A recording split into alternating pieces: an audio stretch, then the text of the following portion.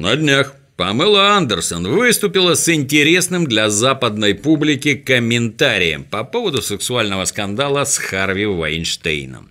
На вопрос ведущей телешоу была ли она ошарашена озвученными обвинениями, Памела ответила решительным «нет».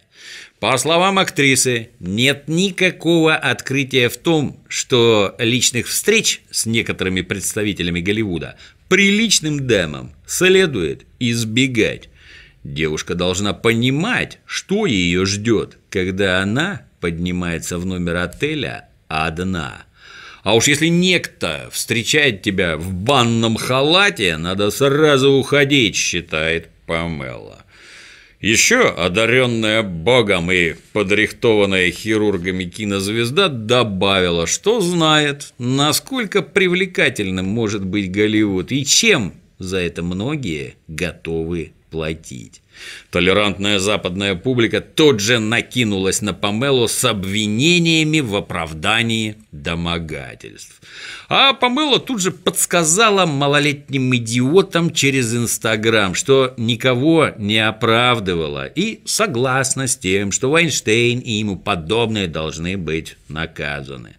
Она хотела сказать, что надо следить за собой и вести себя разумно, не садиться в чужие машины, не ходить одной на собеседование в отеле. Помыла считает, что женщины достаточно умны и сильны и могут направить свое очарование в куда более позитивные русла, и от слов своих отказываться не собирается.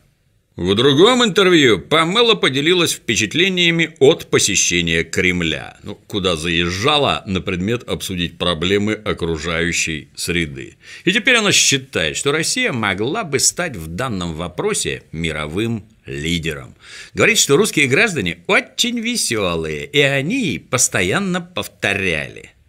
Памела, мы оставляем самое лучшее напоследок. Мы знаем, что ты нам дашь.